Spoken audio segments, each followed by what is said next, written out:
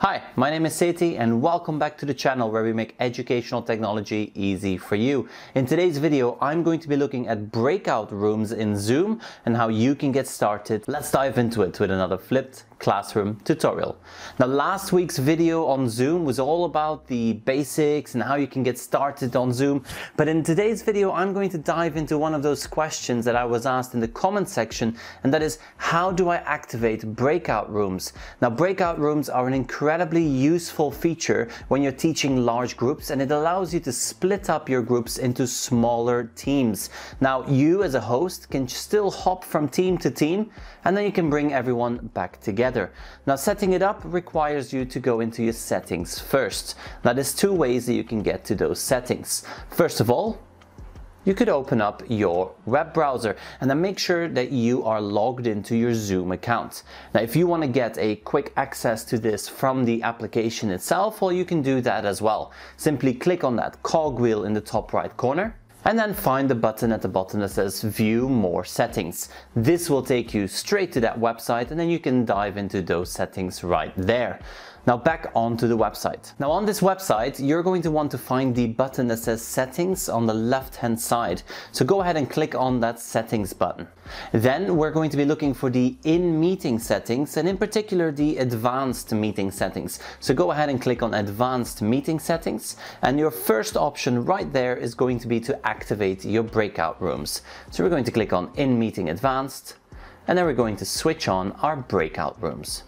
Now we're also going to allow our host to assign participants to a breakout room when scheduling a meeting. Now I'll show you in a little bit how that's done, but Let's see what a breakout room looks like in action. So now that we've activated this, we can start using breakout rooms. So let's start up a Zoom meeting. Now I'm going to quickly close down this browser and I'm going to start a new meeting. Now here you can see this is my webcam view again from the Zoom meeting and the meeting is starting up. Now the first thing you'll notice is there are no other participants in this room but I can still show you exactly how to set up a breakout room. Now at the bottom you will see that there is now an extra option. One of these options is now the breakout rooms. So let's go ahead and click on that button right there. So we have the breakout rooms. Now what you can do is you can have Zoom automatically assign people into breakout rooms or you can do it manually. Now, when you do use automatically, you can still change it afterwards. So let's say that you have two students together in the same breakout room and you know they don't work well together, well, you can change that manually afterwards. Let's say you have nine participants, well then Zoom might suggest three groups of three for your breakout rooms.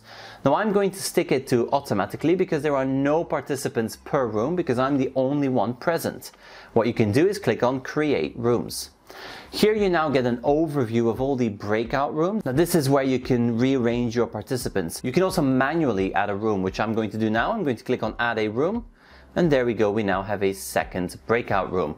When you hover over these rooms, you can rename them, you can delete them, or you can assign participants to this room.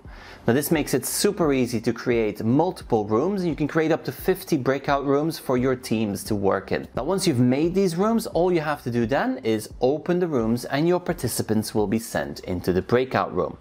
When you then choose to close these rooms, well, you can call them all back to your main meeting. This is incredibly useful in classrooms. Now, what I'm going to do is I'm going to dive into these options because there's a number of extra options I want to show you there. Now, these extra options will facilitate some amazing teamwork. You can move all participants into the breakout rooms automatically, which means that they don't have to manually move. This is great for younger students.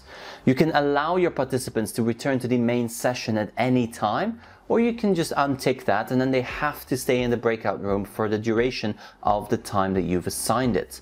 You can automatically close that breakout room after about 30 minutes or whatever you set it to. So you could even set this to, let's say that you only keep the room open for two minutes. Well, then you can tick this box here and you can only keep the room open for two minutes. You can then get notified when the time is up and you can have a countdown after closing the breakout room, which means that you can tell everyone, okay, two minutes before the room is closed, then you close the room and they get a countdown and when the countdown reaches zero, they get thrown out of that breakout room. This is an incredibly useful feature when you're teaching online and when you have large groups of participants. And when you have very large groups of participants. Now for now, I'm going to just cancel this because there is one more thing I want to show you about breakout rooms and that is assigning people into breakout rooms before the meeting even takes place. Now in order for you to do that, we're going to have to dive onto the web interface. So let's go ahead and end this meeting for everyone and let's go to the web interface. Now let's say that I'm scheduling a meeting. Well, I can go into schedule a meeting and we're just going to leave this by its default settings. I'm going to schedule a meeting of 30 minutes long.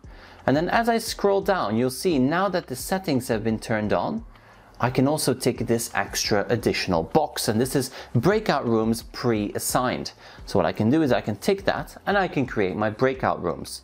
That means that I can pre-assign a breakout room to my participants before the meeting has even taken place. You can also upload a CSV file, which makes it even easier for you to assign large groups of participants.